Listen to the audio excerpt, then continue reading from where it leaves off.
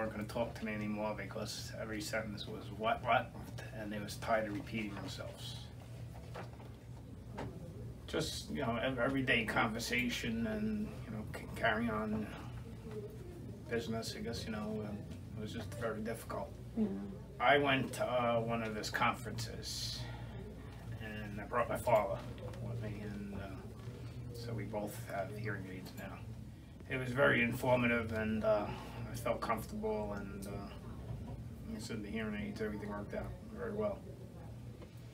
Well, hearing, what you know, watching TV and being in the crowd and, being able to hear without just nodding my head.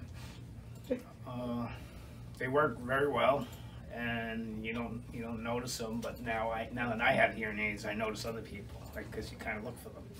Uh, the sooner you get them done, the better. You know, I guess you can join conversations, and uh, it's that much easier.